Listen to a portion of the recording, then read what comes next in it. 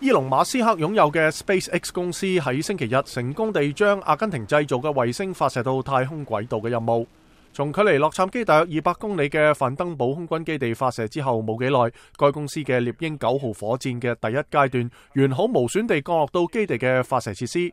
今次系 SpaceX 公司第一次喺美国西岸嘅发射场完成呢一项太空任务。之前，列兵九号助推火箭全部喺美国太空总署位于佛罗里达州嘅肯尼迪航天中心着陆。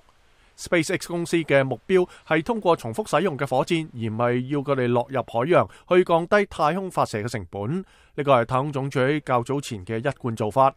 喺发展太空穿梭机项目期间，美国太空总署开始转用可重复使用嘅火箭。